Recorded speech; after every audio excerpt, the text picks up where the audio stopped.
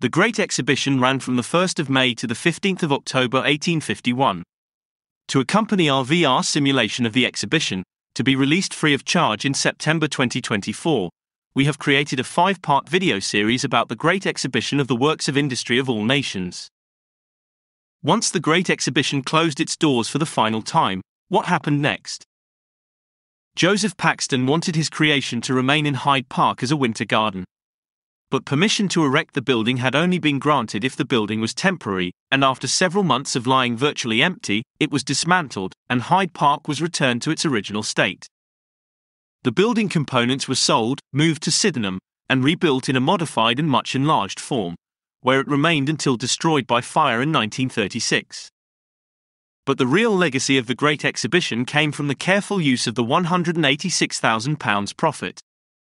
The Royal Commission for the Exhibition of 1851 was granted a supplemental charter to use this profit to increase the means of industrial education and extend the influence of science and art upon productive industry.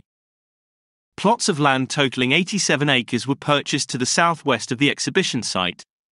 This land, which became known as Albertopolis, ultimately became the site of various museums Imperial College, the Royal College of Art, the Royal College of Music, and the Royal Albert Hall. It had been Prince Albert's intention that the Royal Commission should award scholarships.